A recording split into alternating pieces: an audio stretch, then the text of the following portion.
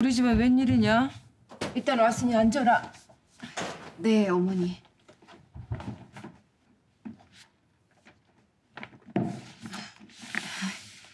이거 드세요, 어머니. 부담스럽게. 이런 건 뭐하러? 어머니께 감사해서요. 솔직히 태평이가 저희 아버지 간병하는 거 말리실 줄 알았거든요. 네가 내 말문 딱 막아놓고서 뭘 그래.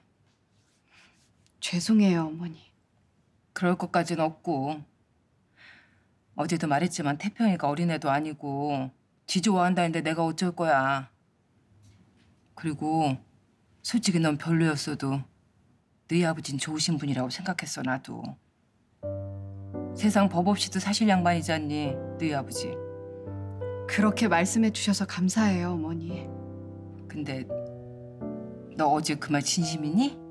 태평이가 네 아버지한테 한 만큼 우리한테도 할 거야 정말? 그럼요, 어머니. 혹시나 어머니 몸져 누우시면 제가 어머니 병간호 해드릴게요. 끔찍한 소리 하지도 마라. 너한테 병간호 받자고 몸 좋는 우리야? 아니요, 어머니도 참.